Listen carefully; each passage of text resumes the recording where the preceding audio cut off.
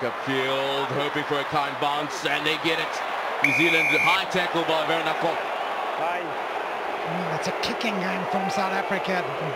Tag Leonie, hvem på bold? Wow, wow. It looks like an injury to Andrew Knewstubb. Time off. He looks uncomfortable. I'd let you play otherwise. To be fair, No, Werner the Kok challenge very he reactionary in the way he's jumped for the ball, yeah. Up higher was Knewstubb and Kok just dragged him down. You Time on. Fix.